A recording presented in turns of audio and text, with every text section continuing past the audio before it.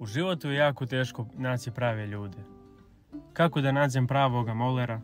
Kako da nađem najboljeg stolara u mom gradu? Kako da nađem nekog ko će dobro da mi kosi travu, a da je zato siguran da on bude oko moje kuće, oko moje djece i tako dalje. Ja bi radije da uživam sa mojim djecom, da čitam knjige, da prosto uživam u ovom kratkom životu, a ne da tražim po tenderima, po oglasima i po preporukama. Zamislite da postoji jedna prava platforma koja će da pomogne svima u tom krugu. Zato predstavljamo zanati.me. Bilo koja zanatlija da vam treba, vi ga možete naći na zanati.me.